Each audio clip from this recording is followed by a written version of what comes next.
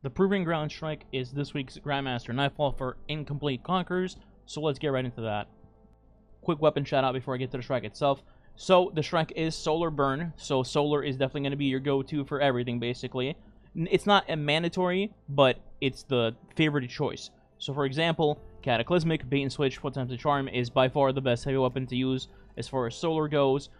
Although I will say Storm Chaser, even though it's not Solar Burn, still keeps up with just basically everything for every GM minus Insight Terminus, but that's a whole other story. So, for heavy, Cataclysmic, you have this roll, is really good. If not, if you have a Storm Chaser, use that.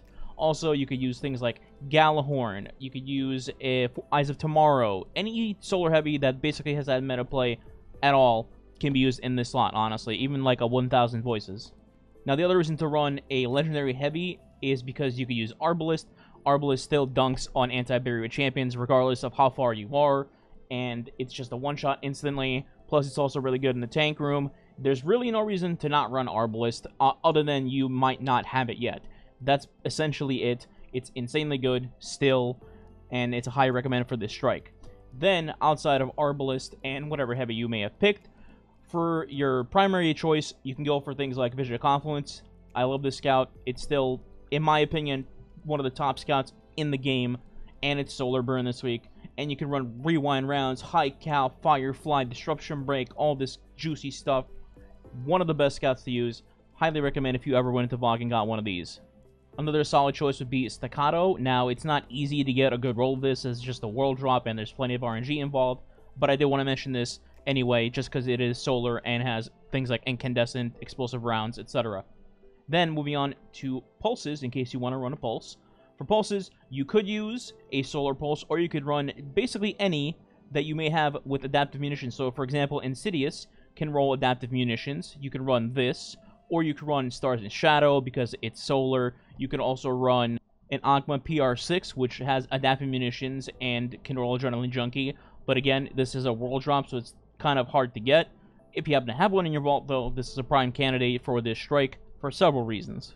Finally, you can also run a Glaive if you really felt like it. Glaives aren't terrible to run in most GMs, although on Cabal it is not a one-shot, whereas, let's say, a Goblin for the Vex would be.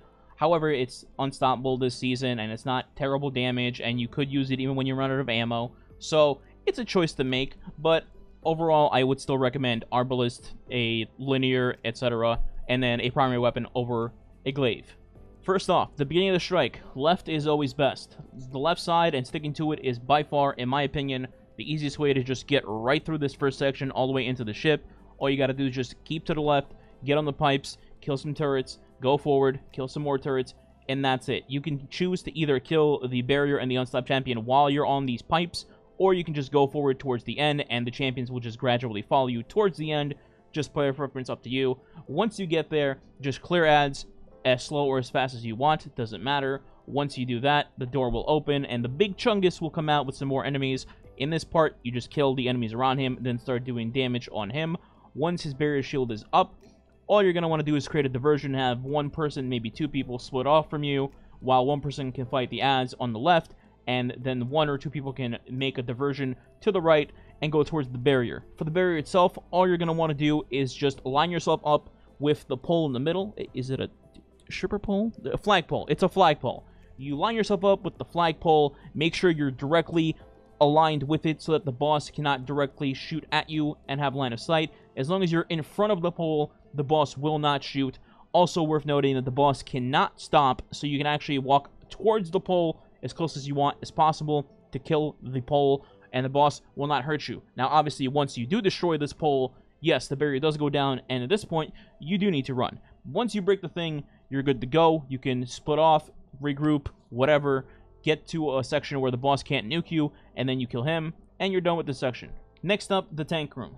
So, this room, to start off at least, really doesn't have one specific thing that you must do. However, obviously things like well, a banner shield, things like that do help you in this room just because there's a lot, a lot, a lot of enemies to take down.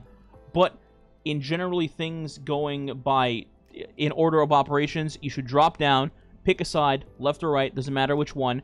Regardless of which side you pick, immediately look for the snipers and kill them left and right. There's one on each side. After that, your choice becomes really, do you want to kill most of the champions in the middle, or do you want to kill the interceptors that are right in front of you? Now, worth noting that the giant wall in front of you actually serves multiple purposes. Not only can it help you block shots from incoming ads from the middle, but it also blocks the interceptor from shooting you, and also has a little crack in the ground on the bottom where you can take advantage by standing on the ramp and shooting the interceptor through it, eventually killing the interceptor, although it'll be mind-numbingly slow. Now, another thing you could do if you really felt like it was for your primary, instead of bringing in like a Vision of Confluence for Solar, you could have brought in a Void for Void Shields on the Interceptors for Psions and take them down that way. In case you're wondering why I didn't mention bringing Arc or Void in general, is because this strike, basically, the tank room has RNG shields. It could have all solar, or it could have all void, or it could have all arc.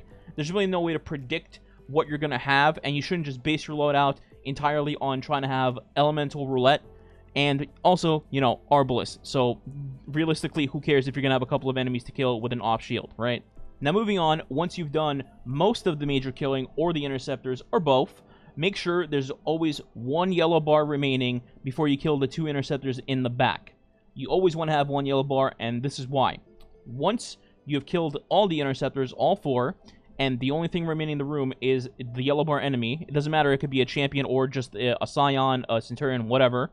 What you're going to want to do is rotate to the top left side of the room, blow up all the barrels while you're heading there, by the way. Once you get to the top left side of the room and you get to the final door right before where the tanks come out, you're going to want to kill that last yellow bar enemy. What this is going to do is going to start the next wave of enemies to come out, the tank wave, if you will. You're going to have several yellow bar slash red bar enemies come out to your left. What you can do here is immediately have a well ready or any super relay. You can have hammers, blade barrage, whatever, tether, and then nuke these enemies outright as soon as they come out of the door. The moment they're down, you're going to have the door to the tank opening in front of you, and you're going to have a couple of seconds to just nuke the tank down in its legs without it moving or shooting. You can take this tank down immediately and have a lot of breathing room out the gate while being in a protective well or bubble, etc. Then from there, you can peek shoot the other tank. Again, you have a couple seconds to shoot it before it can shoot you and take down the second tank either immediately or just gradually over time. Remember, you have walls in front of you to protect you from the tank shooting you as long as you don't peek for several seconds at a time. Also, the enemies from the middle will be shooting you, but you will have coverage to kind of look through the cracks and shoot them down. You'll have two barrier champions really to contend with, and that'll be about it. As long as you take down the enemies that come out of the left door and then the tank right in front of you, you will have plenty of breathing room to just slowly tackle the rest of the room and be done. And after you've done that, it's smooth sailing. You go to the next part. It's not really worth mentioning all that much. It's just go forward, kill champion, kill yellow bar, kill some ads, dunk the balls, etc. The only thing I can really tell you is look out for Dwayne The Rock Johnson from killing you in midair while you're jumping towards the balls. Quick thing to mention for the boss fight itself, you want to have this Armor of the Dying Star mod on twice, actually. It, the reason why you want to do this is because it can eat one of the fireballs from the boss. Now, obviously, you don't want to get hit by any of them, but if one happens to hit you, at least this will give you the survival that you need to tank one shot instead of just outright dying immediately. This also stops the boss from one-shotting you with the Brachus cannon, the Void gun that he shoots you with. So that's worth noting. Also, you could run one of these and then Concussive Dampener if you can't afford to run two of them on at the same time. Now, the boss fight itself, you want to plant yourself to the top left or the top right of the arena when the fight begins. It doesn't matter which side. You're going to have the boss come out, shoot fireballs, of course, those fireballs down, and then you're going to have two Legionnaires and a Phalanx on each side drop down during the fight, take out these enemies, and then the boss damage phase begins. At this point, you're going to have two choices. You can either wait out the waves as the fireballs come at you, there's about 13 waves or so, and then the balls stop, or you can just shoot the boss down and then have the shield come up, and then have a person that's brave enough to go in, let's say with like Invis, Deadfall combination, to take down the flagpole, or just have the 13 waves come out. Once those are done, circulate around the boss and make sure somebody's baiting the aggro, and then somebody else goes in from behind and you shoot the terminal down. Now, obviously, recommending if you're not experiencing this strike, I would go with the second choice of just waiting out the fireballs. You can do this for each phase, by the way. It's, like I said, 13 waves or so each phase, and then they're done, and it's just gun shooting from that on. Now, once you've taken the boss down to 66%, aka two thirds remaining. The boss summons one unstoppable champion on each side of the arena. You can take out either one first, doesn't matter which side, like I mentioned. So, let's say you're planting on the right side, just look at the right door right in front of you as the boss puts up the shield. The unstoppable will come out, give it two seconds for the animation to happen, because if you don't, the stun will not happen, and the champion will still move towards you. It's kind of dumb, but it is what it is. After two seconds, stun the champ, kill the champ, and then you can choose to either shoot the fireballs down or just walk into the little oven to your left and just sit there till the fireballs are done and you're safe. Then at this point, you just go hunting for the other unstoppable, make sure he's not to your left or to your right, and then stun, kill, maybe use Aeons to get ammo if you need it, and that portion is done. At this point, wait for the fireballs to be done, go in, break the flagpole, there you go, the boss will start moving again, and then you can start damaging the boss for another 33%. Also, while this is happening, you'll have two more Phalanxes and four more legionaries to come out on the arena. Make sure you kill those, and then move on with your... Now, you're going to repeat the same process as before. The only difference this time will be once you get the boss down to 33%, you're going to want to actually start dashing towards the beginning of the room where you entered instead of staying where you are and spawn killing unstoppable. The reason for this is because the boss will be going back above you where the boss came out and shooting fireballs at you non-stop, making your position really dangerous, and there's no sense in doing that. Instead, you're going to go to the beginning of the room, wait for the unstoppables to come to you, and you can safely kill them while safely shooting fireballs if needed. Kill the unstops, and then again, wait out the fireballs, safely make your way up to the boss, make sure somebody's baiting the boss's aggro, and then somebody else is going behind, shooting the flagpole, taking down the flagpole, and then you're in the final phase where the boss will start rotating around everywhere without a shield. There will be, again, a new wave of ads. Kill the ads, and then split up, make sure you're never together, and then keep rotating as the boss follows one of you, keep shooting the fireballs, and then finally nuke the boss down to zero health, and bam, you're done with this GM. It sounds a lot more complicated than it is. Once you get your footing in there and some experience, it's really not all that bad. It's just a long strike. So hopefully this guide has helped you. Uh, like, share, subscribe would be appreciated. And uh, good luck on your GM hunting, corrupted, conqueror, all that good stuff. Gilding. Enjoy. See you in the next one. Goodbye.